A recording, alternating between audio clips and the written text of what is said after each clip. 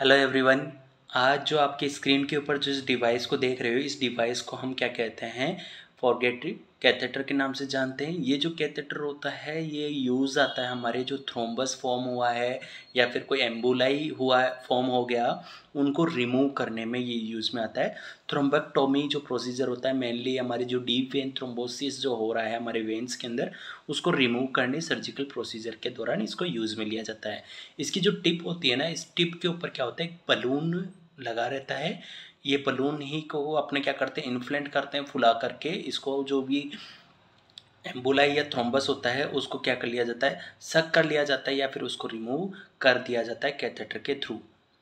ये तो हमारा जो डिवाइस था, ये यूज़ आता है थ्रोम्बोक्टोमी के दौरान मेनली और यदि आपको ये वीडियो अच्छा लग रहा है तो आप अपने दोस्तों के साथ ज़रूर शेयर करें इसको और ज़्यादा से ज़्यादा शेयर करें और सब्सक्राइब ज़रूर कर दें अब इस चैनल को यदि आपको इन्फॉर्मेशन अच्छी लगी तो पक्का शेयर करके जाइए। Thank you